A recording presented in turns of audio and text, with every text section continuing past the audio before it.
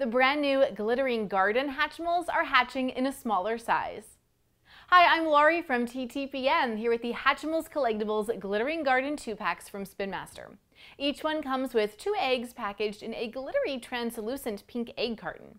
To hatch the eggs and find out which Hatchimal is inside, rub your thumb over the egg's heart until it changes color, then push in with your thumb to crack open the egg. These Colleggtibles have flecks of glitter covering their shimmery bodies with wings that have been dipped in sparkles. There are only six of these glittery collectibles to collect and kids can keep track of which ones they have on the included collector's guide. The egg carton packaging is very cute and clever, and we like that it doubles as a playset and display space for a kid's collection. Hatchimals fans ages 5 and up will like the surprise of not knowing which collectibles they're getting until they hatch the eggs, and with only 6 glittery ones to collect, these glittering garden ones are going to be extra special.